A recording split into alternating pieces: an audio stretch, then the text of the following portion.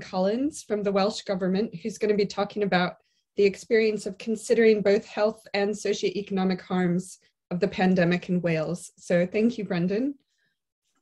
Yes. Um, so hopefully you can hear me, see the slides. Yeah.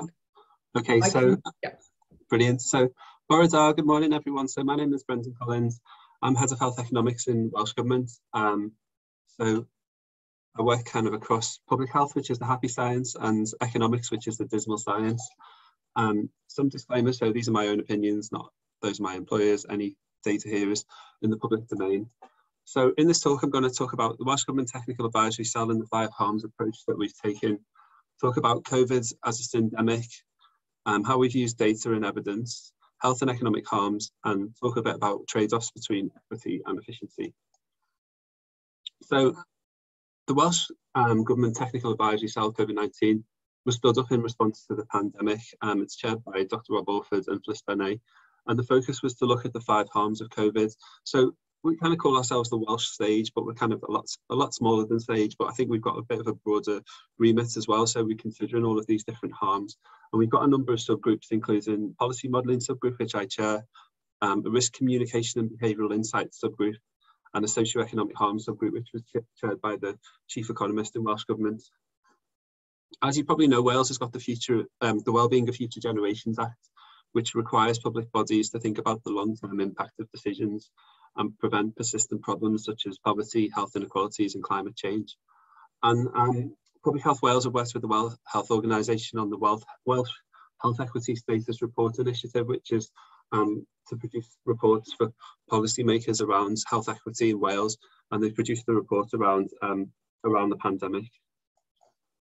So these are the five harms. You're probably familiar with this, or, or at least maybe with kind of four harms, um, but they sometimes differ in definition. So these, these are what we've used as our definition. So you've got harms directly arising from um, COVID infections. So this might be things like people ending up in hospital, critical care, people sadly dying from COVID, um, you've got number two is indirect harms due to pressures on the health and social care system, such as um, postponement of elective surgeries or um, different sort of health procedures being missed.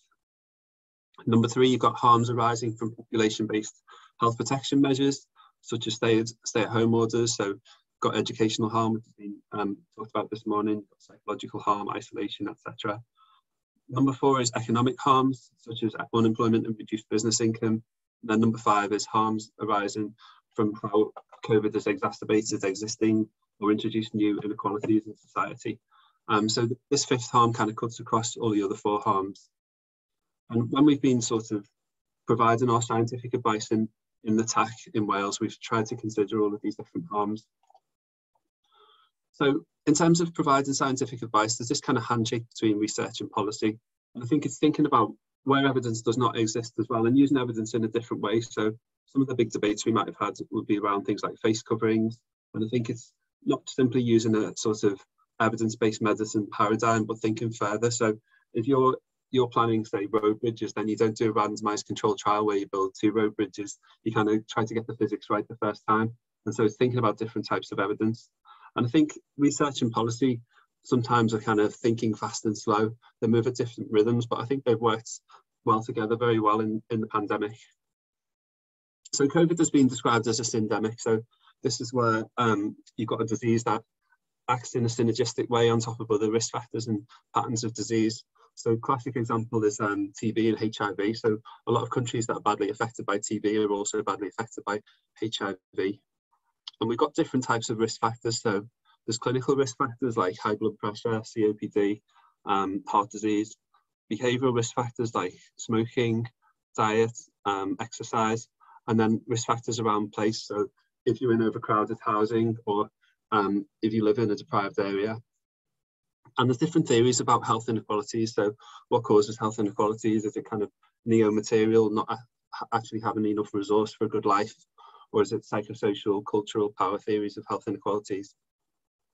And I think the story, the pandemic has been a story about people who, if you don't have a house, you don't have a garden, you don't have a car, you don't have money in the bank, um, you're not in a stable relationship, if you're in precarious um, sort of employment, then it's been a very different pandemic than, than if you have those things.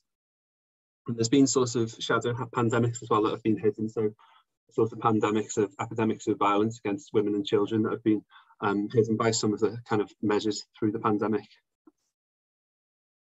So this is a slide around poverty in Wales. Um, and I think probably, if anything, a lot of these indicators are get, getting a bit worse over time. So I think we've probably got more people um, in fuel poverty, for instance, at the moment. Um, 180,000 children live in poverty. You can see Wales has got lower median pay. Um, and it's got different population groups that are more likely to experience poverty in Wales. So this is groups like lone parents, minority ethnic groups, families where there's someone with a disability, and people living in rural and coastal regions. And what we see is um, you've got kind of these are also intersecting risk factors for COVID outcomes. So you might have someone who lives in overcrowded housing.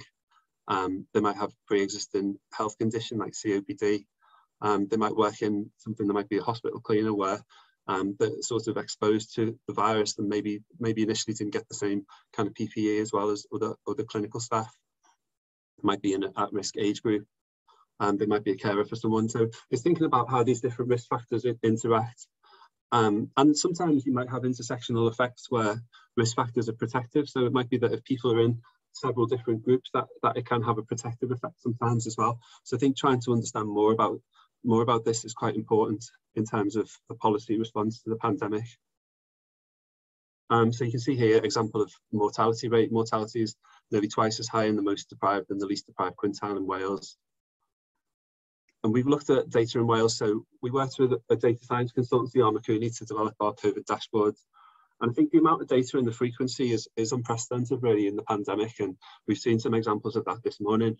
We've got amazing data um, that has been stood up in response to the pandemic, but some of this is kind of winding down now as we've not got as much testing and things like that. But it's thinking about how we sweat that asset, I guess, in trying to triangulate and understand the relationship between different metrics. And there's been innovations around things like contact survey data, wastewater, mobility. You know, you've got um, Yankee Candle reviews where people are saying they can't smell their Yankee candles. Might, might be a sign of um, anosmia in the population. So this is an example of some of the slides from our COVID situational report that we um, published. Um, so this is kind of powered with data from our dashboards and from all different um, sources that we get. And it's aimed to be a concise summary of um, sort of situational awareness data to inform policymakers, so ministers and people in the NHS around what's happening with the pandemic.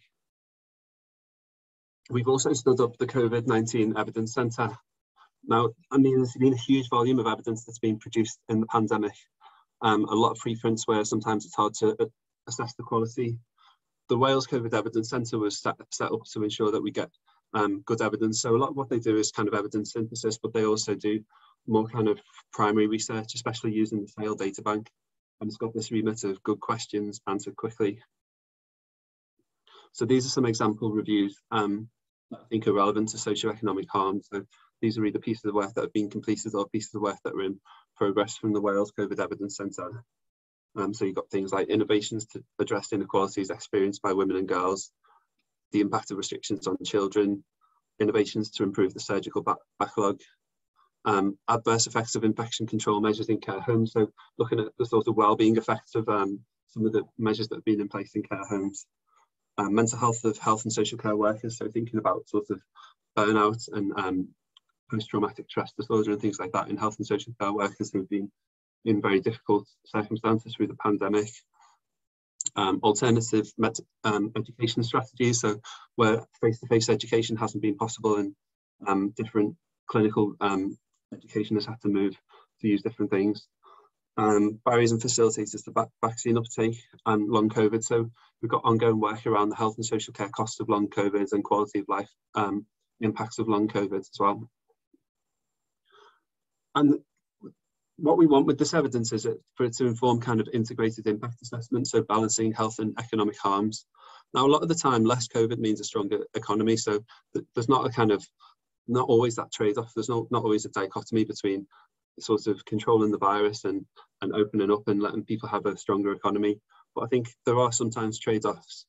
And this is partly a technical process and partly a subjective process. So you can partly do it with data, but it's partly sort of falls to decision makers, I think, to, to weigh those different impacts.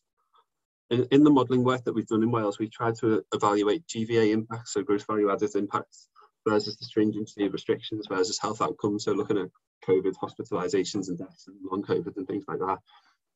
And we've got healthcare costs and QALY adjusted life years hard coded in our models for Wales, um, which means we get those outputs from our models, which are produced by Professor Mike Gravenor and his colleagues at Swansea University. With these outputs, I think the value of a quality makes a big difference. So the Treasury value each QALY at £60,000. Production cost in the NHS might be £15,000, so it's a lot lower. So it's thinking about what is displaced by these activities. If you're spending money on one thing rather than something else, or NICE, um, usually quoted as value inequality at £30,000. And we've got complex systems, so there's there's a kind of interplay between individual behaviours and government interventions. So there's research from the United States looking at different states that um, had different approaches around kind of lockdown. So some states had more stay-at-home orders, whereas other states had a more relaxed approach. But what they found was that even in states where there was a more relaxed approach, people were still kind of staying staying at home and being cautious. So sometimes um, it's not always the government intervention that makes all of the difference. And I think it's thinking about how do we achieve cycles of health, human capital, and employment.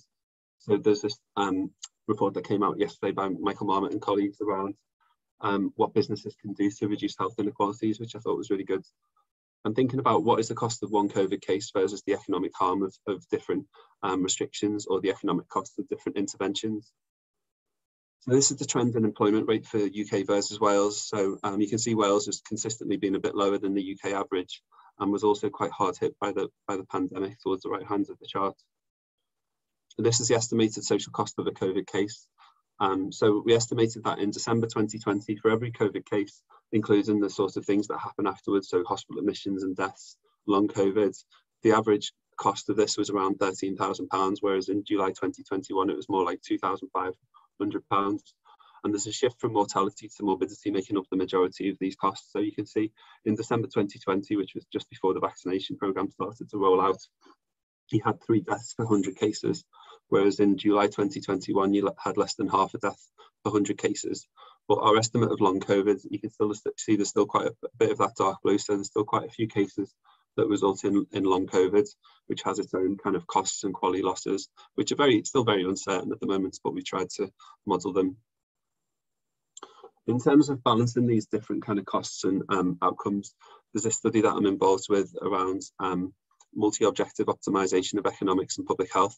So it's trying to balance different factors around um, restrictions and, and other interventions in a pandemic. So this is just an example. Here you've got kind of the economic cost of different scenarios versus the infection rate. And what it's looking for is kind of optimal sort of scenarios around um, restrictions and things like that that would um, produce the biggest impact in terms of infections and the biggest impact in terms of um, not having high economic costs.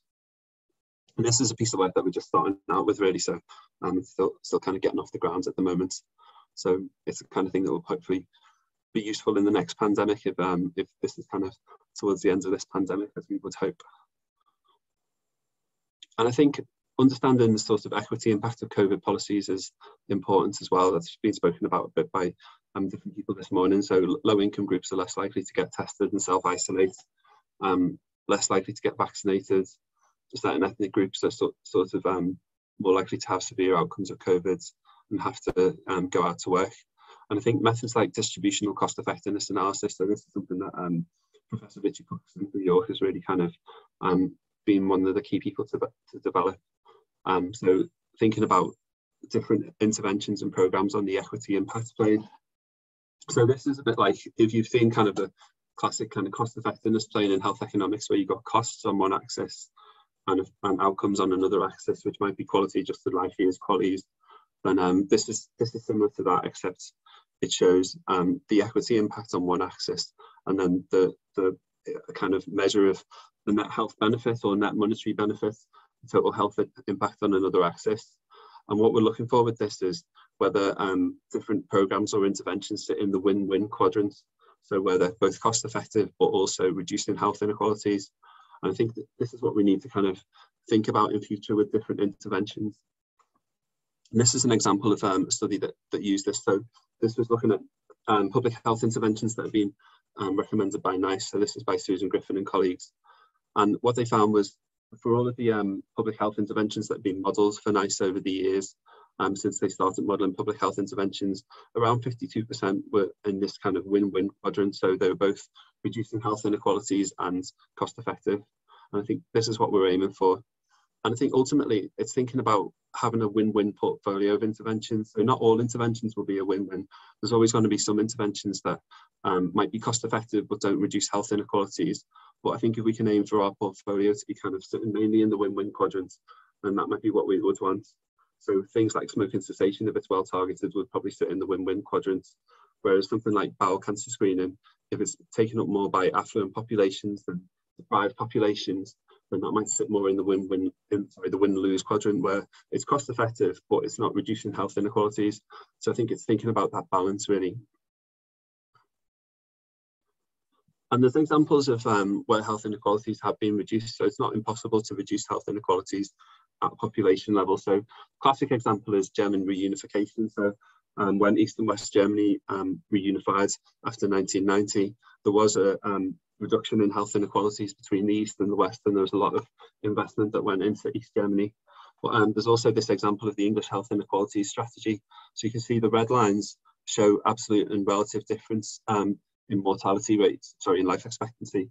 Um, and you can see that they do show a dip during the time towards the end of the health inequality strategy. But then unfortunately, um, the gap increases again um, after, after the um, health inequality strategy finished. So I think there are examples of where health inequalities have been successfully um, impacted on at a population level. This is an example of um, work that we did in Merthyr Tydfil. So this is a quite a deprived local authority that was really hard hit by the pandemic and it was selected as an area to um, pilot mass testing. And in terms of the um, health economics, we found that it was cost effective with an incremental cost effectiveness ratio of around £2,000 per QALY gains. Um, so I think this is quite a good example really of um, that kind of local intervention. However, this was when wild type and alpha were the dominant variants and before vaccination rollout. So um, it was a kind of different time. And if you were to do it now, I think it probably wouldn't be cost effective anymore also uptake wasn't equitable within the local authority. So it wasn't necessarily reducing inequalities within the local authority. But I think there's this kind of question around granularity. So what level do you act at? If you're acting in a deprived area, then you might still be reducing the health inequalities between that area and somewhere else. But then within that deprived area, the deeper you delve, you might still not be reducing health inequalities within it. So that was a bit of a kind of whistle stop tour, I guess, of the, the kind of work that we've done in Wales and some of the considerations that we've that we've had throughout the pandemic. And I think some future considerations here are things like the NHS balance and recovery and preparedness. So recovery in terms of the elective backlog and people whose needs have not, not always been well met during the pandemic, but also being prepared for future surges of COVID or other viruses. And I think there's issues around social care capacity that have been really illuminated by the, the pandemic. So there's been some times when we've had 600 patients in hospital with COVID, but over a thousand patients who are delayed transfers of care who are waiting to leave hospital with, for a care package. And I think, yeah, it's really highlighted around the structural issues around social care, I guess. Um, educational losses and, and the equity impact of these. So you might have time poor parents who are not able to really kind of help their children to catch up. And there's estimates that um, children lose around 1,600 in earnings for each week of face-to-face -face school that's been missed. I think there's a new understanding of winter viruses in general, so we need better infection pre prevention and control, including PPE and ventilation in all different buildings. We need to think about long COVID and other sequelae of COVID infection, like um, increased diabetes and CVD. We need to think in general about the fitness of the population. So um, NCMP data for England, there's been a big increase in child obesity and a big increase in inequalities in child obesity.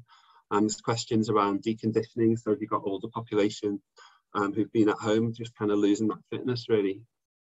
And COVID isn't isn't you know COVID isn't the only sort of problem that we've got at the moment. So we've got kind of multi-crisis at the moment where you've got war in Ukraine, you've got inflation, fuel and food poverty, um, climate change and sustainability. And I think thinking about health as part of a foundational economy as well, so promoting fair and good work. So to summarise, um, COVID has exacerbated inequalities and created some new ones. I think that um, government scientific, local and community response has been unprecedented. So you've had different disciplines working together. Um, so for instance, you've got kind of economists working with epidemiologists to build these kind of combined models that take into account the complex dynamics that we've got between um, people's behaviours and health outcomes and the economy. And I think we need to take the best elements of this and use it to build back better and look at equity impacts of government policies in more detail in future. I'll stop there. Thank you. Thanks very much, Brendan. Um, if you could just stop sharing your screen and then I can better see people's hands. Um, while you all are thinking, perhaps I, I was interested in, could, you could you speak a little bit about how it was organized within the Welsh government to bring together the epidemiological and economic modeling, which seems a little bit different from how it happened at the UK level, for instance?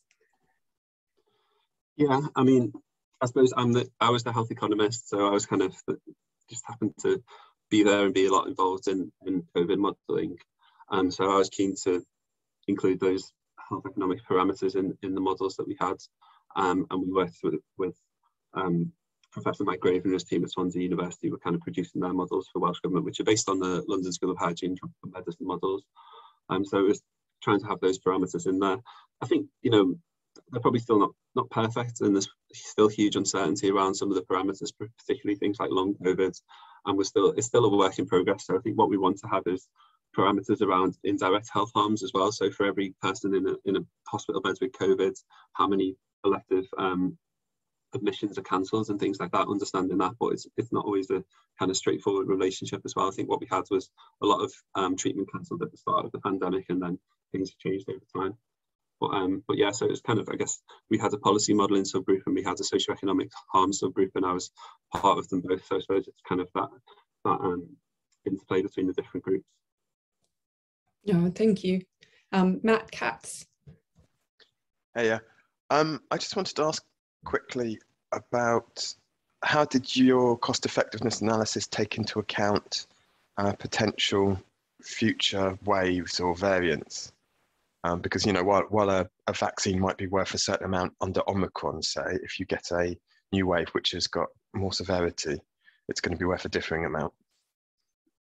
Yeah, we're not there yet with that. That's something that we want to do. But yeah, there'll be huge, there'll be huge uncertainty, as you say. So yeah, I think that's one of the key questions at the moment. Is I guess is what is the optimal deployment of vaccines over time in the next in the next few years.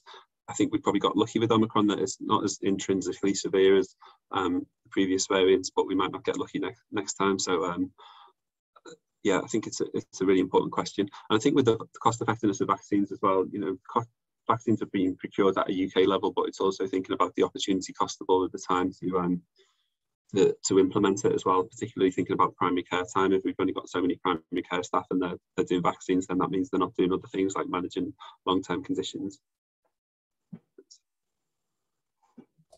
Thank you. Thanks very much, Brendan. And um, hopefully if you catch any questions in the chat, um, you can follow up with those.